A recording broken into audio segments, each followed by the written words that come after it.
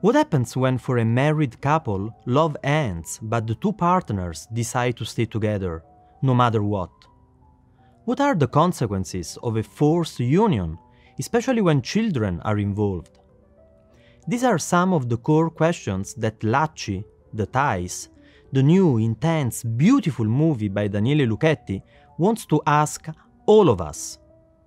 Luchetti is adapting a novel by Domenico Starnone an anatomy of a married couple's problematic coexistence as they struggle with infidelity, emotional blackmail, suffering, and guilt, with a mystery that is not revealed until the end, and I will not reveal it now, of course. In the very first scene of the movie, we witness a beautiful dance during a family gathering. But something is wrong. The music is joyful, like in a circus, but we can feel that something is off in the eyes of the father. The movie opens with a big question Can we make music out of this harmony? Can a family still be happy when love ends? The film is supported by an outstanding cast, and it is set in Naples along two different timelines, reflecting the couple's relationship in the present and in the past. Part of the narrative takes place in the early 80s, the other one decades later. The story is simple. The marriage between Aldo, played by renowned actor Luigi Lo Cascio, and Wanda, a superb Alba Rohrwacher, in the first timeline, begins to break down when Aldo falls in love with the young Lydia, played beautifully by Linda Caridi. But 30 years later, Aldo and Wanda are still married. Why? The film explores the reasons. In the present day narrative, Aldo is played by Silvio Orlando and Wanda by Laura Morante, another two Italian extraordinary actors. The first time we see the transition from one timeline to the other happens in a beautiful scene with the same soundtrack we heard at the beginning of the movie.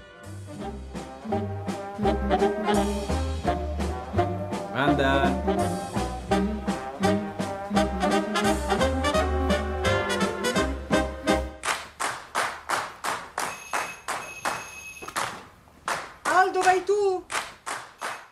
From that point on, the two timelines start to be intertwined. Aldo is a public intellectual, or someone that would like to be so, and he hosts a book show on the radio in Rome. There's no love without the possibility of betrayal, he preaches on air. Uno contiene l'altro, eh, proprio si implicano a vicenda. Più grande l'amore e maggiore la possibilità di essere traditi. While at the same time he's having an affair with Lydia, a talented co-worker. This betrayal puts both his marriage and his tormented wife, Wanda, in danger. Con rapida mossa li scavalchi e ti porti in mezzo alle falangi dei libri che hai intenzione di leggere. Ma prima ne dovresti leggere degli altri. Aldo, for a while, leaves the family and tries to start a relationship with Lydia. And the movie continuously portrays him as weak, passive, and spineless. Che cosa devo capire? Wanda, on the other hand, doesn't hesitate to use their children to make Aldo feel guilty. Bambini! Papà dice che con noi si sente in prigione. E noi allora adesso che facciamo? Lo imprigioniamo. Ho chiuso a chiave e le chiavi ce le abbiamo noi.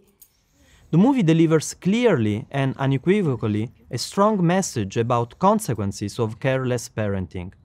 Its focus is on the horrible meltdown of a middle class couple and the emotional baggage that they leave to their children.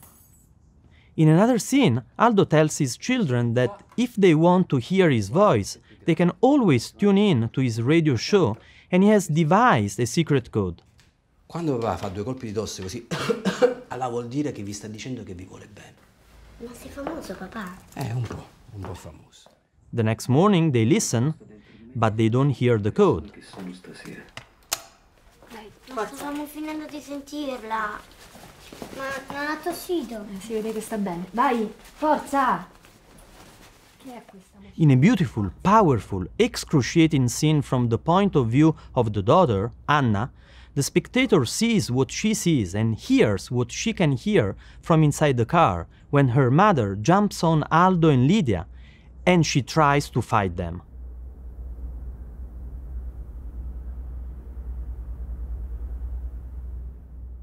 The ties of the title are these inextricable bonds that can keep a family together and at the same time can be weaponized and used to hurt each other, causing unbearable pain, especially for our own children.